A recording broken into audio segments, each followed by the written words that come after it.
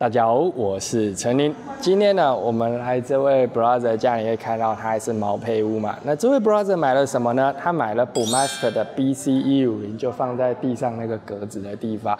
这个我有另外拍一支影片跟大家分享，大家可以看那一支影片哦。就是这位 brother 买这个 Bumaster BC 一五零，跟他整个家里的空间配置。其实呢，再次强调，BC 一五零真的没有那么大，任何一个小家庭都放得下 BC 一五零。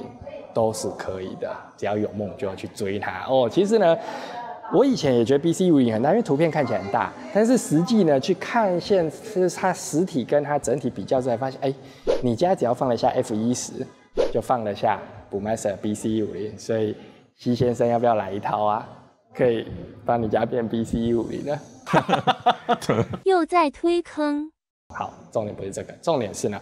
当你有一套这么好的音响的时候，通常我会建议你家的网络一定要一起到位。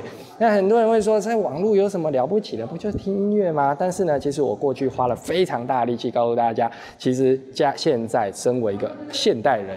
家里的网络有多么重要？你不管是手机在那边滑你的 YouTube 啦，滑你的 Facebook 啦，或者是你现在看我的影片，其实你都可以感受到网络频宽，还有你无线网络顺畅的重要性。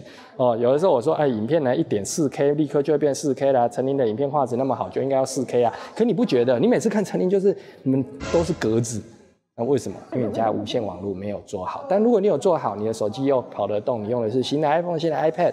那么其实也不用新的，因为我妈妈用 iPhone 十三 Pro Max，她也是用的非常好哦。她每次都说：“儿子啊，你的画质真好啊！”就是因为我们家网络用的好哦。那所以这个我其实拍了很多影片哦，告诉大家网络应该怎么办。但是今天我们来聊另外一个话题，就是这个网络的机柜该怎么设计哦。在这位 brother 家呢，他的机柜是放在这个地方。放在这个地方，然后呢，它的冷气风管会拉一条进来哦，因为它有 NAS、有网络，还有讯源那些东西，所以其实机柜里是很热的，所以直接一劳永逸哦，拉一条冷气管进去，让里面可以维持冷是 OK 的。那你说陈林？可是谁会冷气开整天？我只能说呢，大多数会买这样音响的人，冷气都是开整天的。而且其实呢，之后我可以再跟大家分享，你整天都开冷气，跟你只有热的时候才开冷气，其实是差不多钱哦，没有那么贵。但是呢，你说为什么要放在这里？我们先看一下这位 brother 本来规划的地方。这位 brother 呢，他本来哦，其实不要说这位 brother，大多数的人他通常啊。一开始的这个网络设备呢，都是放在这个地方，就是所谓的弱电箱，通常都是放在这个地方啦。哦，那很多人都会说，哎，我建商送了我施耐德的网络的那个八 p 呢，也蛮高级的，后面还有个 Netgear，但是呢，我会说啦，这个东西。呃，或许对一般人来说是很高级，可是你知道，在我们这边，呃，动辄 Unify，呃，开起手是 Unify，收手还是 Unify 的情况下，这样的东西，说真的，我会当，我刚刚跟那个 brother 说，你就当它是一个空箱。哦，我说我没有那么好听，但就是一个空箱，里面的东西我们一概无视拿，连那个中华电信的小乌龟都不放在里面。中华电信的小乌龟的出口是这个地方，可是我会建议直接把这个小乌龟请中华电信帮你挪到机柜里面。为什么？因为小乌龟这个东西其实是很烫的，如果你用的网络用的非常大量，什么叫大量？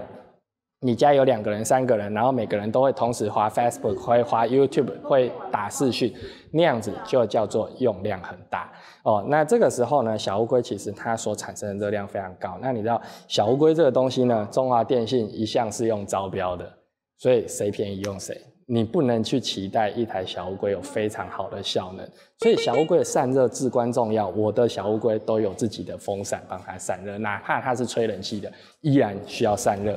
那它在非常良好的冷却状态下，它做 bridge 的工作。之前我们有另外一支影片讲过哦，就是你不应该让小乌龟去做拨号那一支影片呢，呃，大家可以看一下哦，让它去做这个桥接的工作的时候，它才能够做到最好的。工作状态。那其他哦，包括你的 Unify 的那个网关，就 UDN Pro，或者是你的 Switch 或你的 NAS，那些东西都是无时无刻以四十度到八十度之间的温度在运作的。而这些东西呢，它的工作时间是二十四小时。你的音响啊，可能说哦，我今天躺在床上，我要睡觉了，所以我的音响没有在听，音响在休息。可是你睡觉前，我还滑一下 Facebook 好了，它在工作。你晚上在睡觉的时候，手机自己在备份 iCloud，Switch 在工作。你现在我早上起床了，我起来我又再滑一下我的 Line，看一下人家跟我说的早安。你的网络又在工作，它的工作从来没有停过，所以它的热度是无时无刻都在运作的。那这样的情况下，它的散热就非常重要。你把这样的东西塞在刚刚我们看的那个弱电箱里，那是完全没有散热的。那样子，你说家里的网络怎么顺得起来？所以你的网络设备千万要记得，虽然呢，网络设备真的买起来跟音响相较之下是不贵，可是呢，因为它负担着你全家的整日从工作到娱乐，甚至你只是开个 Hey Siri。开个灯，开个窗帘，这些东西都要靠你的网络来运作。所以你的网络怎么可以不好好的用它呢？把它弄好，让它稳定的工作，才是你置办的这个美好的家一个非常重要的关键。尤其是现在，从你的音响哦上到音响，上到你的工作，下到你只是开个电灯，都需要你的无线网络来帮你完成。一定要把它做好。就是这样啊。那如果你有这个问题或想法，欢迎面向留言，有机会我们再讨论。如果你有一套音响想要处理，那么呢，在这边有 Q R code，扫 Q R code，告诉我你的空间、你的预算、你的音乐需求啊，你喜欢听什么音乐，或你的音响要做什么用？你是纯音乐，或者剧院，或者是打电动哦，这个会有不一样的搭配方式。告诉我，我来帮你搭配。今天就聊到这里啊。那顺便提醒一下，在。资讯栏里面有我们严选商城连接，里面有已经搭配好的音响，你可以先看一下，因为呢，它的外形差很多，你可以先选你喜欢的外形，我们再讨论它是不是适合你。今天就聊到这里，我们下次见，拜拜。